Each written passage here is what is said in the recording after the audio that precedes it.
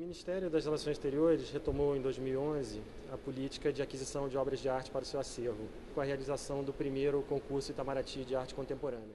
O concurso visa não apenas atualizar o importante acervo artístico do Itamaraty, mas também promover e divulgar é, artistas contemporâneos brasileiros é, no Brasil e no exterior. O concurso é aberto a artistas brasileiros nos suportes é, pintura, escultura, fotografia, obras em papel e grafite, e é uma iniciativa importante do Itamaraty para, para representar e solidificar a atividade artística brasileira no Brasil e no exterior. E é feito em conjunto com outros projetos é, realizados é, por meio dos postos no exterior.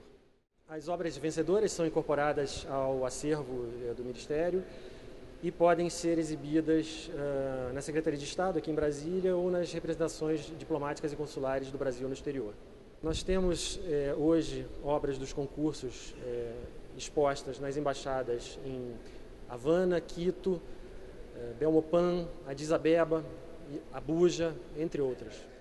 A primeira edição do concurso concedeu prêmios de aquisição a 16 artistas, a segunda edição premiou 20 artistas.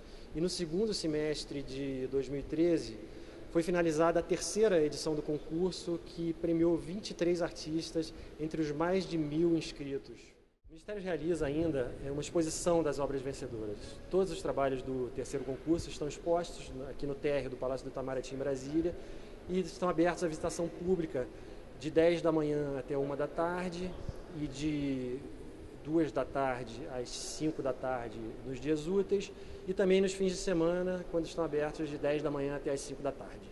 Mais informações podem ser encontradas no site do concurso, cujo endereço está na descrição deste vídeo.